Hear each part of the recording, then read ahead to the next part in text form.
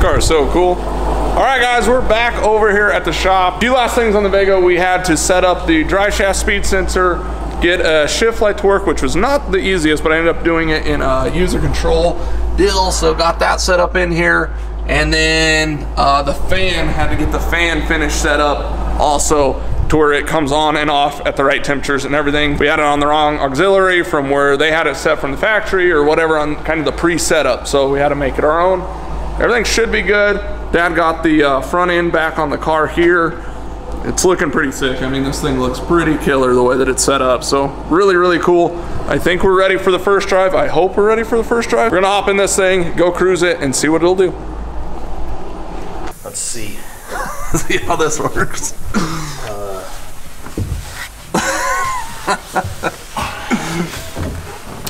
Tall guy, little car. Yeah, it's a little. Perfect, just drive down the road with one leg hanging out. Look at my legs almost. as- Oh yeah, no problem. Jesus. One foot driving.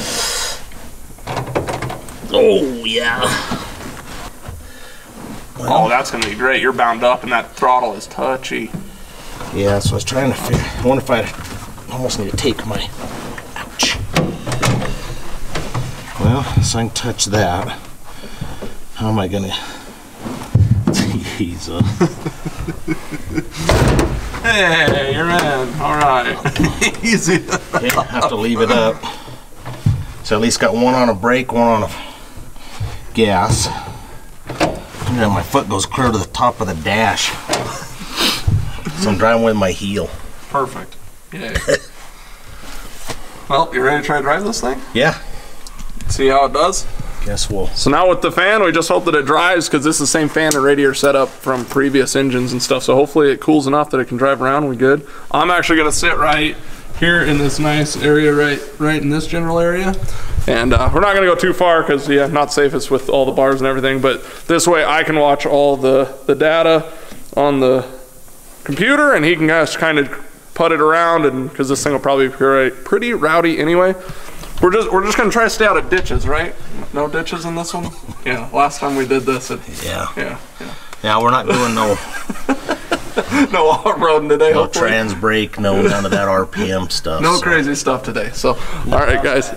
yeah, that was that was a little sketch, but uh, hey, made for a fun video. So, all right, we're going to uh, fire this thing up and head out.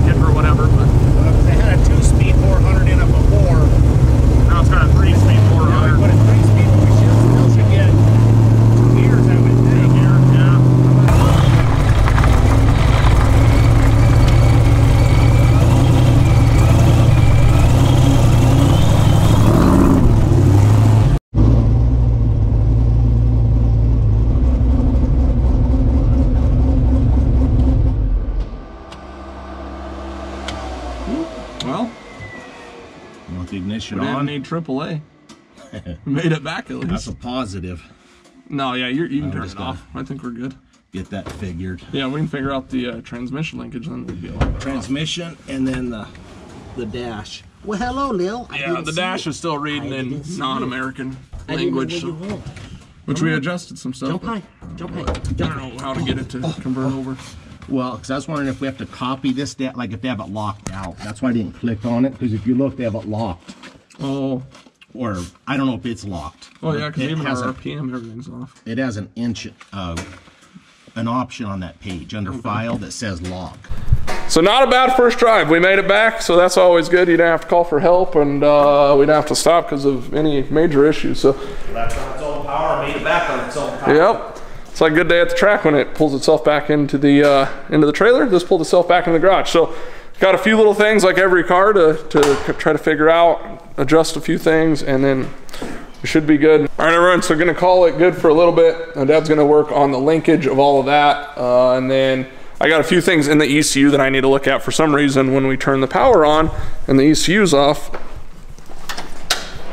The fans come on. I think you guys can hear that. So uh, we got to figure out why that is, which they told us that anything powered off ground, when the ECU actually shuts itself off, it will, everything will ground. So I'm not sure if there's a way to get around that or if you really need to trigger all that stuff off of power or what.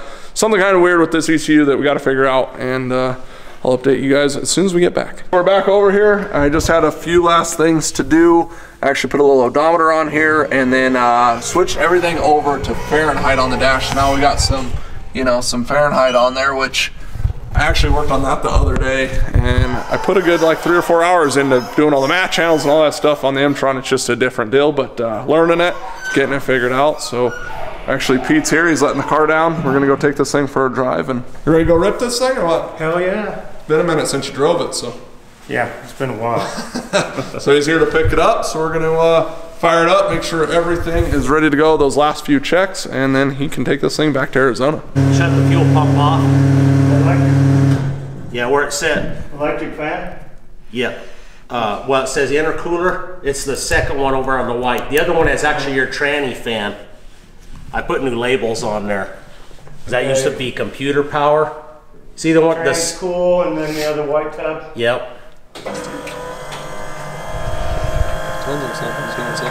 Yep. There we go. There it is. Shut it off. Yeah, you can shut that one off. That way we. Do. Too, but then once it's warm and Might take more time, like go ahead and get it.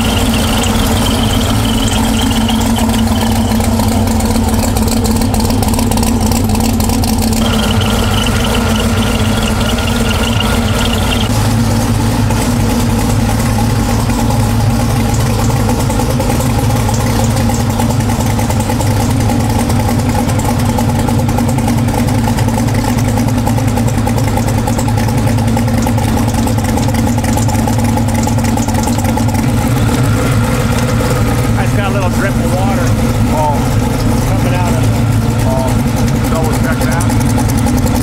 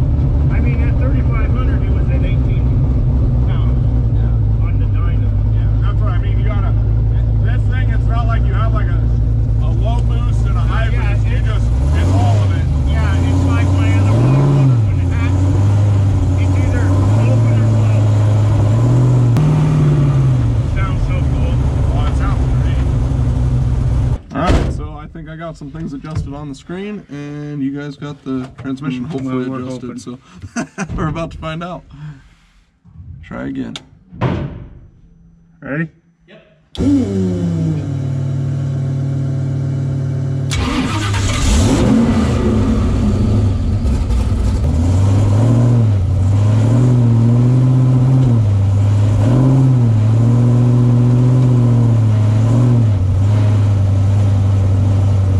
I can deal with that. Not a big deal. Yeah, at least you're good. But now if you, Yeah, I will almost figure think it you out. need to like flip this I, shifter. I need a different shifter. Kind of like my dad's where it's all that forward pattern. Yeah.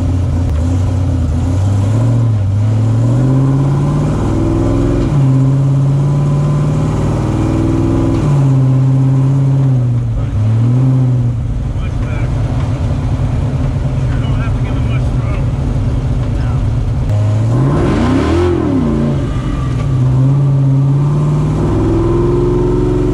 And it blows the tires off. Huh? It just blows the tires right It off. does. Dude, that was very touchy. That's what goes wrong. I just gotta send this over and see what it is. Pete's out here trying to I just drift it. touched it and we we're doing a little drifting. Yeah. All right, everyone, we're gonna load this thing up and head into Arizona. And our plan is, beginning of the year, is to fly down there, help Pete make some passes after he gets able to go drive around and go enjoy it on the street for a while and all that stuff. So, if you want to see more on that bad unit, make sure you hit that subscribe and hit that like button for us. Leave us a comment, tell us what you think. We'll see you in the next video.